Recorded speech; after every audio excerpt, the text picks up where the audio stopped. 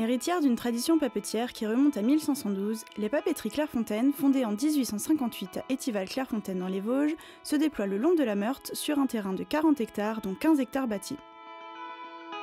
Ces bâtiments abritent diverses unités. Fabrication du papier, finition et emballage, centre logistique, façonnage des cahiers et enveloppes, atelier de maintenance, bureau d'études et services administratifs. Le papier est fabriqué à partir de fibres de cellulose issues du bois. Les fibres sont mises en suspension dans de l'eau et subissent différents traitements tels que le raffinage et l'ajout de colorants et de charges minérales afin de leur apporter les propriétés attendues. En sortie de machine, le papier sera calandré pour obtenir le lissé attendu, puis il sera bobiné sur un mandrin. La bobine mère obtenue passera ensuite sur bobineuse et l'on obtiendra les bobines filles. Suivant l'atelier de destination, elles deviendront cahiers, enveloppes ou ramettes. L'atelier d'enveloppe fabrique entre autres les 1700 références de la gamme Pollen, riche de plus d'une quarantaine de teintes, dédiées à la correspondance et aux loisirs créatifs. D'abord, le papier est débobiné, puis passé dans un groupe d'impression afin d'y imprimer un numéro de traçabilité. Ensuite, le contour de l'enveloppe est découpé et son pliage tracé.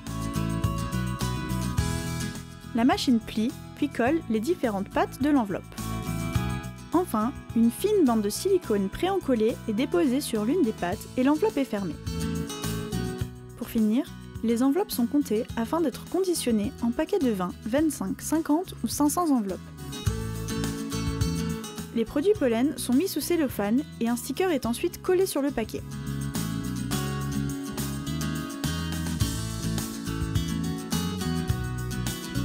Clairefontaine a toujours veillé avec la plus grande exigence à la qualité de ses produits, indispensables pour commercialiser des articles haut de gamme. Enfin, ils sont comptés par 10 et conditionnés en carton pour expédition.